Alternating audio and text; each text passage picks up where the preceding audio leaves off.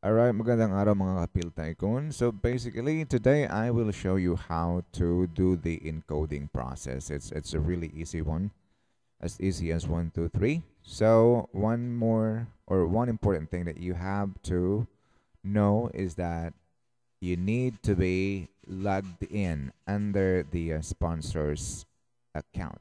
Okay, para pumasok yung uh, direct referral bonus. Okay. So once you are logged in, all right. So I'm I'm gonna be using one of my downlines as uh, profile.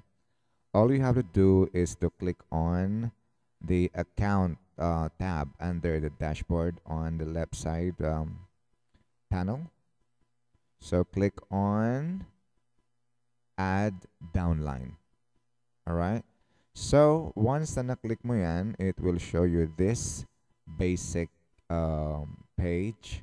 So make sure that you put in the correct name, last name. Hindi yan tumatanggap ng mga special characters. So no dots uh, or anything. Alright, so first name, last name, gender, and the date of birth. And then when it comes to the verification contact, uh, hindi sila masyadong strict when it comes to, you know, addresses. Hindi kailangan complete, pero you can always put in the complete um, location. So Philippines and uh, complete naman yan. And sa ibang bansa, kompleto rin yan. So, pwede siya kahit saang uh, panig ka ng daigdig. And then here, yung city, uh, automatic yan magpa-pop up. Halimbawa, ganyan, lalabas kung anong bayan. Alright? And um, itong street, kahit anong lang pwede mong ilagay. Um, hindi kailangan ng house number or anything like that. And then contact number. So, take note, it is really important that you put in the correct contact number because This is where your one-time password will be sent once na mag-request ka na ng withdrawal. Okay? So, ito yung ating pinakang security. Kapag ka wala kang access dito sa um, telephone number na i-enroll mo, magkakaroon ka ng problema pagdating sa uh, withdrawal. And um, please uh, take note as well na any changes, alright, any changes na gagawin mo sa profile ay mayroong charge sa office. They will charge you 500 pesos. So make sure na tama ang information na ilalagay. Alright? So, tamang contact number, tama yung name or spelling kasi anything na mali, again, pag pinakorek natin sa office, may charge na uh, tawag nito, 500 per um, transaction. Halimbawa, nagpa, nagpa-change ka ng uh, first name at nagpa-change ka ng phone number.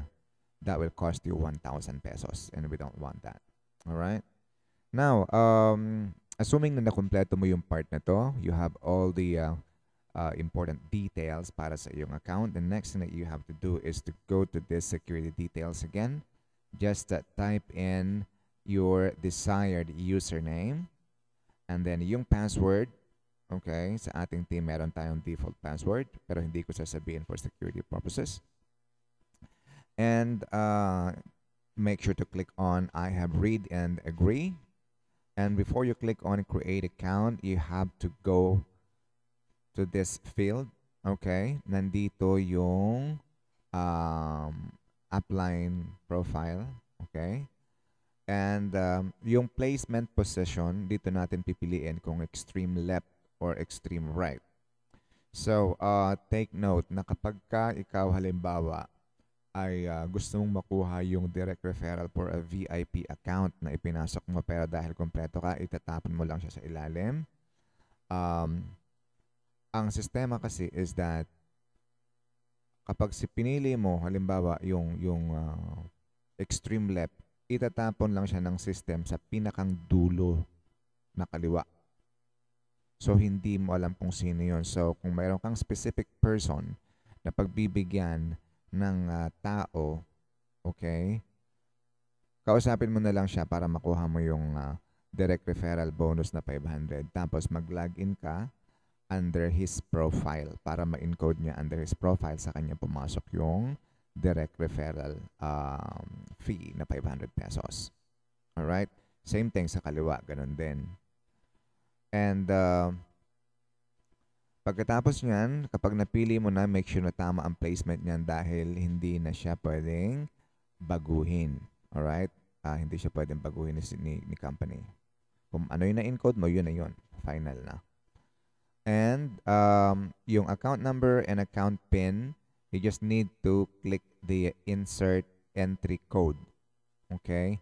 So what will happen, pag in-insert mo yan, may lalabas dito na uh, yung code details. You just need to click on insert and then hit OK. Pagkatapos yun, kapag may lumabas na rito, then click on create an account. Okay? So, kapag kinlik mo yung create an account, may uh, pop-up window na lalabas dyan for you to confirm and review the details kung tama yung placement. And uh, kung sa tingin mo is okay na, just click on okay and uh, congratulations ang sasabihin ng system. Alright? So, um, if your question is saan mga galing yung code, uh, normally kapag ka bumili tayo ng code sa office or sa Stackist, So, hihingi niyan kaninong username isi-send yung code. Alright? So, kung halimbawa ay uh, sinabi mong sa iyo or yung sa upline, ang mangyayari niyan, lalabas yan dito sa under code bank, dito sa uh, second uh, tab sa kaliwa, no? Lalabas dito yung mga codes. Ayan, kagaya nito may mga ilang codes na. So, dito makikita mo yung status kung used na siya or hindi. So, bali kapag ka, ano, lalabas dyan na pwede mong i-forward may option dyan. Sa ngayon wala eh. Pero makikita mo kung halimbawa sa UCNEN pero kailangan mong i-forward sa downline mo. Okay? Ang mangyayari may makikita ka doong send na um, button. You just need to click on send. It will ask you for the username ng taong pagsasendan mo ng uh, code. And before you can forward it, the system will ask you, it will display yung complete name ng tao, make sure na tama. And kapag na-verify mo na siya talaga yon, then you can always, I mean, you just have to click on send. Alright? Bakit natin ginagawa yung ganong sistema? I mean, bakit bine-verify ni system? Kasi ang username maraming sa nagkakapareho or nagkakamali ka ng input. So, may mayroon siyang ano, uh, layer din naman ng, ng verification. So, As long as tama at na-confirm mo, then proceed lang. Tapos, insert code ka lang. Or kung gusto mo naman, insert code para manual. Insert code, kopyahin mo lang. Tapos, ibigay mo sa kanya. Isend mo. Pero, mas maganda pa rin yung ipo-forward mo na lang directly sa kanyang username. So, that's it. And if you have any questions, please uh, let me know. Just put your comment down and I'll um, get back to you. Have a great day and uh, good luck mga Kampil Tycoon. Salamat po. Thank you for watching. Don't forget to share and subscribe to this channel. Thank you.